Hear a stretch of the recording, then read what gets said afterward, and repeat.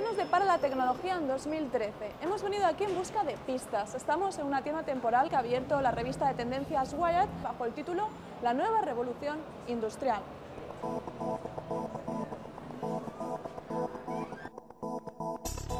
Las impresoras 3D serán uno de los productos estrella el año que viene, con modelos cada vez más asequibles como este que cuesta unos 3.000 dólares.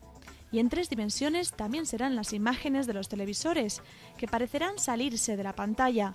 El efecto se logra con estas gafas de obturación que parpadean a un ritmo imperceptible para el ojo humano. ¿Queréis ver la imagen? Así es como se ve.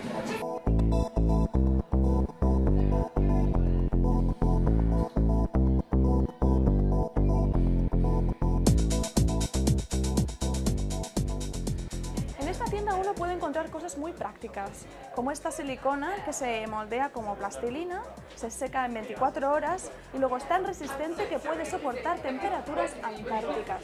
La tecnología que se viene tratará de alterar nuestra percepción de la realidad. Y mientras unas tecnologías deforman la realidad, otras la registran al detalle, con novedades como esta, que dicen es la primera cámara inteligente portátil del mundo. Esto se llama el Autographer. Es un nuevo concepto de cámara que todavía no ha sido lanzado al mercado. Te la cuelgas al cuello y toma unas 2.000 fotografías al día. Toma fotografías constantemente, cada vez que detecta un cambio de movimiento o de escena. Originalmente se diseñó para gente con problemas de memoria, para que puedan rebobinar y ver su registro, pero cada vez la usan más los que quieren registrar toda su vida. Bicicletas con sensores para que los niños aprendan a pedalear solos o esta cámara volante para hacer tomas aéreas también figuran en el repertorio de esta tienda donde los londinenses pueden echar solo por unos días un vistazo a un futuro no tan lejano. Anaí Aradas, BBC Mundo.